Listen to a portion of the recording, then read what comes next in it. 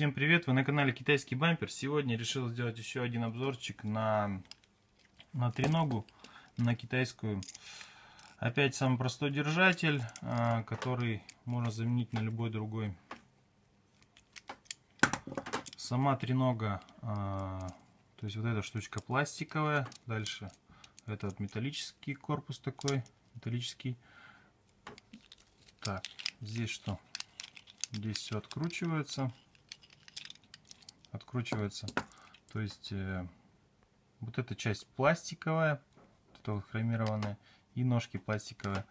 А вот эти трубки черные, покрашенные и вот не покрашенные, они из металла. Так, закручиваем обратно.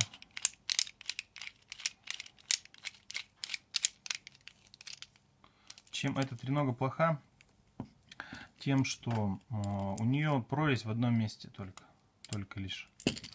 То есть как-то как-то закрепить камеру, либо там телефон,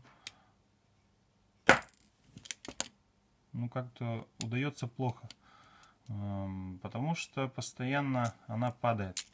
Еще один минус этой треноги, то что вот эти вот э, телескопические ножки со временем, со временем уходят сами по собой. Ну, то есть разбалтываются. И телефон падает. То есть стоял, стоял и упал. Конечно, можно вот эту прорезь как-то с помощью вот этого под, подкрутить. То есть, но будет опять болтаться это все. То есть ножки будут болтаться.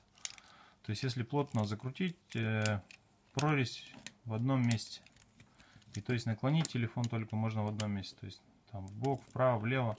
То есть именно в одном месте, в каком-то непонятном, неудобном. Даже не посередине, не посередине ножик. Вот. В принципе, тренога нормальная, но мне она через какое-то время перестала нравиться.